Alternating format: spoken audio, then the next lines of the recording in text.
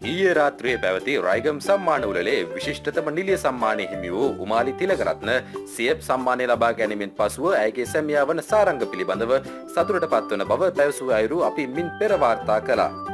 මීට සුළු මොහොතකට පෙර එම පුවත දුටු සාරංග දිසාසේකර විසින් සිය ෆේස්බුක් ගිනුමේ තබා ඇති සටහනකින් උමාලි විසින් සිදු කළේ බොරු රංගනයක් බවත් ඇය සියලු දෙනාම රැවටූ බවත් ප්‍රකාශ කර තිබෙනවා.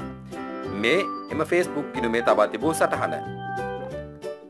කුමාරයයි වැද්දයි පිය රජතුමයි අන්තිමට රටවැසියොයි ඔක්කොමන්දපු අපේ කාලේ මනමේ කුමරිය වේදිකාවට සැපත් වූ වගයි. මේ අනුව තහවුරු වන්නේ සාරංගගේ සහ උමාලිගේ විවාහය මේ වන විට දෙදරා ගොස් ඇති බවත් උමාලි කෙසේ හෝ සාරංග සමඟ සම්බන්ධවීමට උත්සාහ කළද සාරංගයට දැඩි ලෙස විරුද්ධ වන බවත්ය.